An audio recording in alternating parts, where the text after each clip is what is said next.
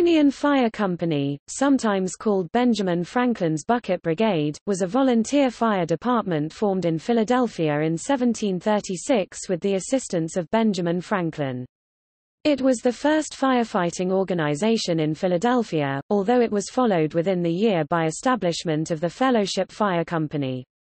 The fire company was formed on 7 December 1736 after a series of publications in the Pennsylvania Gazette by Franklin and others pointing out the need for more effective handling of fires in Philadelphia and remained active until approximately 1820.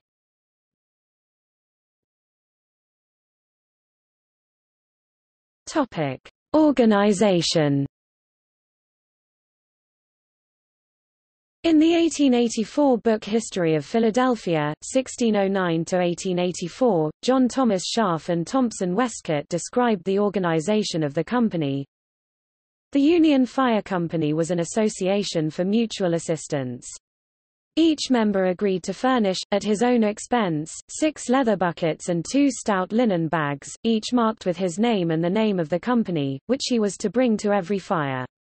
The buckets were for carrying water to extinguish the flames, and the bags were to receive and hold property which was in danger, to save it from risk of theft.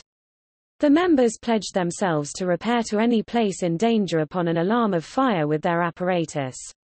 Some were to superintend the use of the water, others were to stand at the doors of houses in danger, and to protect the property from theft. On an alarm of fire at night it was agreed that lights should be placed in the windows of houses of members near the fire in order to prevent confusion, and to enable their friends to give them more speedy and effectual assistance. According to Scharf and Westcott, the company was limited to 30 members who met eight times a year and agreed to pay a small fee, used for purchasing fire-fighting equipment, if they were late to or missed a meeting. The company had no president, but a treasurer and a clerk, taken turns from the general membership, who not only managed communications with other members but also inspected the gear.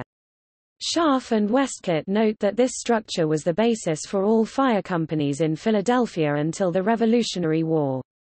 The early members of the company included Isaac Pascal, Samuel Powell, William Rawle and Samuel Syme.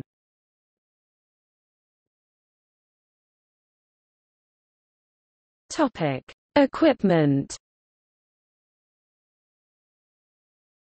With respect to the equipment, Scharf and Westcott note the following. At this time engines and buckets were the only available apparatus, as pumps were few, and the supply of water scant.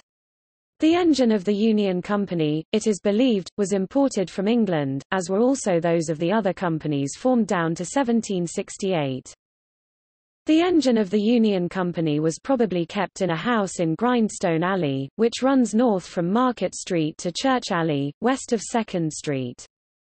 In 1752, the Union Fire Company went in with the Hand-in-Hand Fire Company to purchase a fire bell which was placed on 4th Street where it could be heard throughout the city.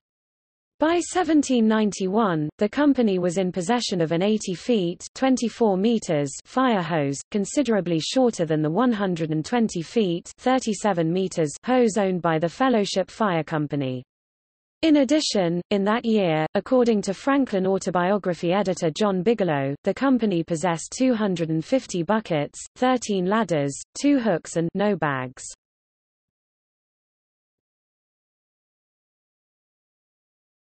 Topic. See also